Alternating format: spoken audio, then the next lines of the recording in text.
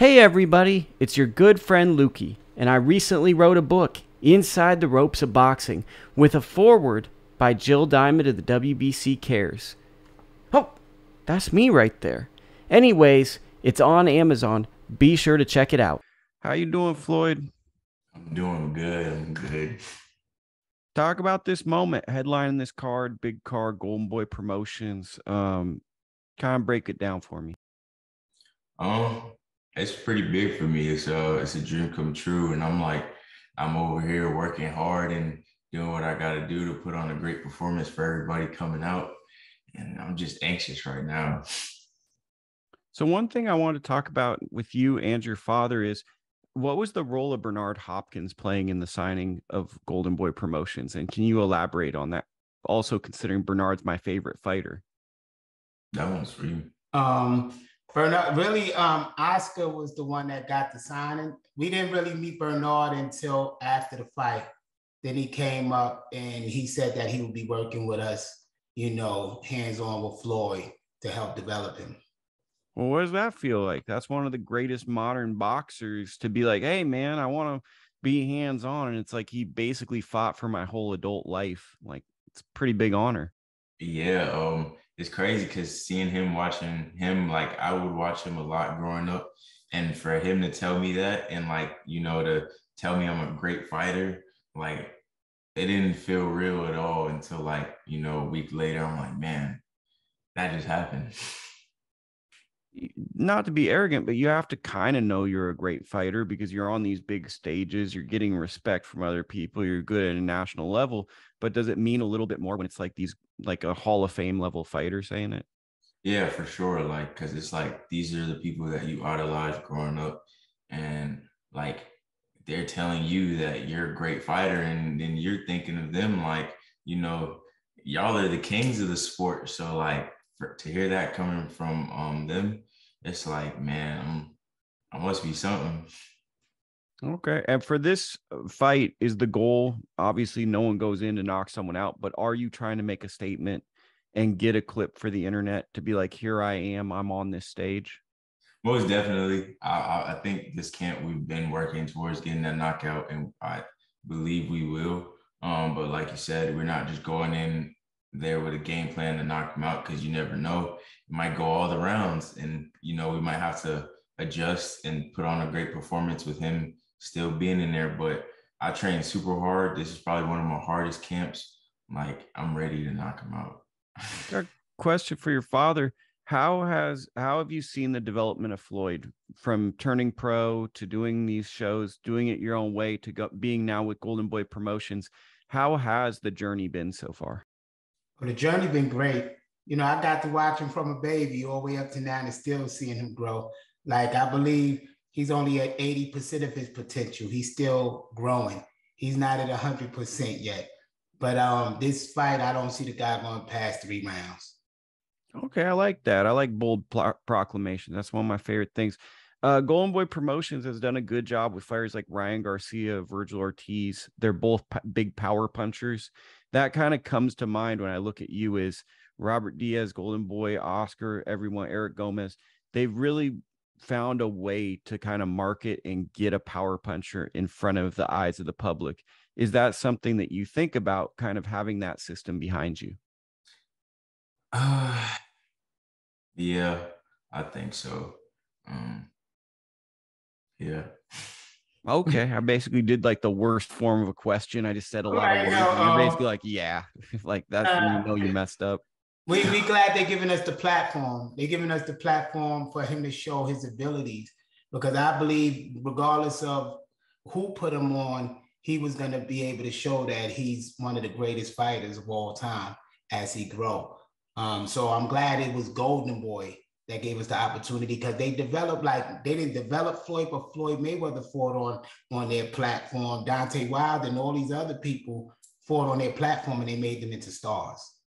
Broner, Jojo mm-hmm. Diaz. Like, I mean, very good track record of building guys up. And what I like about Golden Boy is they make people take hard fights mm-hmm. kind of early. So guys have to be seasoned. And I'm a little old school. I don't want to see people just beating guys they know they can beat to get themselves in a title position. I think you really fighting for a world title should mean something. And I think we're kind of devaluing that currently. Yeah, most definitely. Yeah, we want the hard fights. That's that's one of my why I went over there. I didn't want him to have cab drivers. Then he go fight an A level fighter, and he risked his life in there because they didn't school him and let him gradually get where he needed to get, um, being a great fighter. Well, let me ask you this because we we're kind of beating around the question that I kind of I guess we're speaking on is what what made both of you decide to go with golden boy? Was it the decision the opportunity the platform or were there other things? Basically explain to me just very clearly why that was the best option for you. I i thought it was the best option because oscar hit me up personally like you know nobody no other promoter did that like it meant something. And then um just on top of that like they gave me everything I wanted in the contract. Like I, you can't say no. Like that would be the that would be pretty stupid to be like, nah, I'm gonna go see what somebody else is gonna offer me. You know, if they gave me everything. So for them to do that, that's like, like why not? Like it was a big step. Well, my plan was always to go with Golden Boy. Like I told him before Al Haymon and all them sent contracts, I said we're gonna be with Golden Boy because they got two legends there that know boxing and understand boxing and that could help him hands on to groom him into the fighter that I need him to become. Okay. I mean, Ed, what I'm hearing from you, Floyd, is dignity and respect. Oscar reached out and he he showed respect to you as a fighter, and that meant a lot when there were all these offers that the actual like the head honcho would reach to you out personally. Mm-hmm. Yeah, like because I never in my life thought Oscar De La Hoya would ever hit me up saying like, I can make you a star.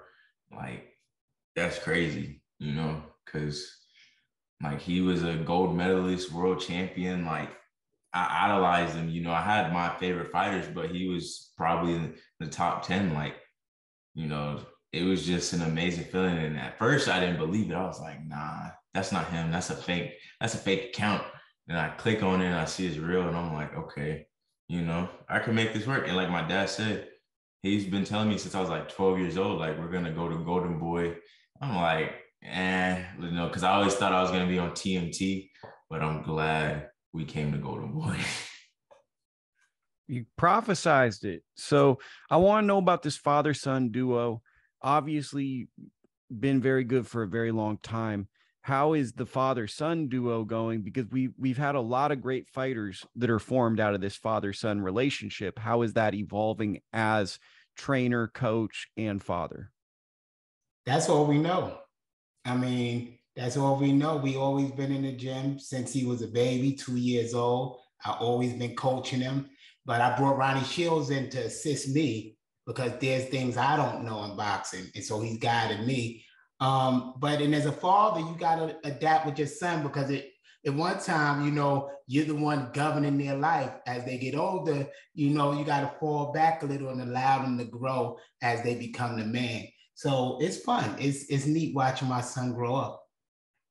Can you talk a little bit about that? Because that's something I struggle with sometimes. Is like you have to set all the rules and then you have to fall back do you ever catch yourself kind of like being like, oh, I gotta fall back a little bit now, or some of those type of things? Yeah, yeah. Sometimes we we bump heads like any father son um duel because you know he's 20 now. And so he want to be the man. He want to make the decisions. And as a parent, sometimes you know it ain't the right decision for them to make at that time. But you got to allow them to go through the experience without jeopardizing themselves. But you got to give them that little bit of rope to make that decision. And so it's fun because otherwise we'll bump heads if I try to, you know, manage the whole oh, time. so wait, what speak on that? What what were you uh-huh. saying? I said like with my tattoo, like like I was asking for a tattoo since I was like 15. I was like, I just want to get one. Now I ended up with two, and I'm gonna get another one. But that was something he eventually fell back on, and like, you know, it's something I always wanted. So I let him get his little control. He let me get my tattoo. So I was like, all right, you know, why not? It's fair exchange. I think it's great seeing like every time I've spoke with you, you're always together and you're always a team. And I just feel that you both care so deeply about each other and it feels like you both mean so much to each other in your lives. So I just really appreciate that you're making it work because it's just nice to see you together. Thank yeah. you. Thank you. We've been through a lot together. I mean, we all we got, you know, so we're gonna ride this all the way out together and life together. You know? Well, I mean, I think it's very real and it's very honest and you can just see it. And I think that it connects with people. Yeah, that is very true. I mean, I got his face on my leg. Oh, okay. Yeah. yeah, he got two tattoos. He tattooed his tattoos was he wanted me tattooed on his legs. So I was like, no, why would you do that? I'm here. I'm not dead. Why are you gonna you know, put me on your legs? But that's his thing. He loved. He, I guess he loved me. That's his way of showing it. Okay. Final thing, because I'm going a little over, but I'm going to give you one last thing. Is I just want you to kind of get people excited for this fight. It's a headlining fight. It's a very exciting fight. It's I don't want to say it's the biggest fight of your career, but it is the biggest fight of your career, at least to me, of where you're at in the position. Let's say someone knows a little bit about you from that. How are you going to sell yourself, both of you, for this? What's coming up, and what can the expectations be for this fight? Uh, so basically, y'all gonna see an amazing fight. Um, somebody is going to sleep and it's not me and just like just tune in. You gotta you gotta find out for yourself because like if you don't tune in and you miss it, it's it's gonna it's not gonna be as good as it is live. You know what I'm saying. Like it's not the same.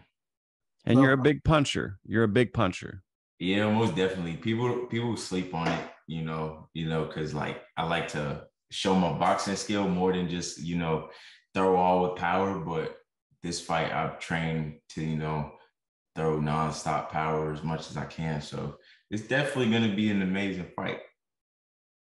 And I think that this is the first step for us to get that Pitbull Cruz fight because he got the belt we need to get to get to the world titles.